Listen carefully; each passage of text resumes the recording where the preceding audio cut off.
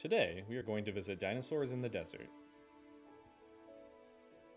There, I will see many life-size models of dinosaurs and other prehistoric creatures along the path.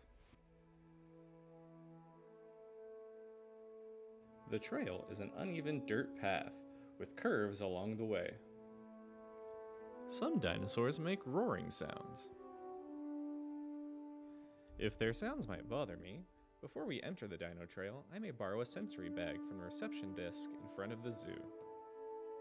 We can also go to the Dinosaur Trail sensory friendly experience, where the creatures won't move or make any noise, and the music at the entrance of the trail will be turned off. I must always stay on the path and not touch any of the dinosaurs.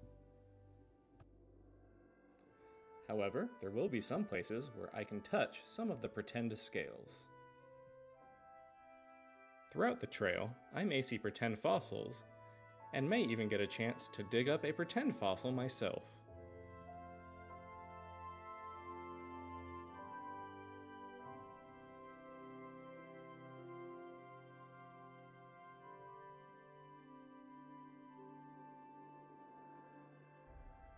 Some dinosaurs may be really small, and others really big.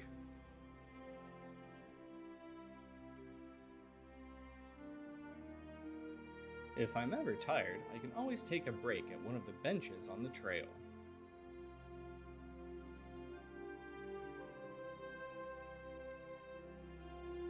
Some of the dinosaurs will look like they are eating other dinosaurs. That's okay. Sometimes, animals eat other animals to stay strong and healthy. At the end of the trail, I will exit through the Dino Outpost gift shop. There, I may see toys, books, and other souvenirs. It may be loud and have a lot of people. If I feel uncomfortable, I will let my people know and we can leave the area. After visiting dinos in the desert, I can go to see the rest of the zoo if my group has time.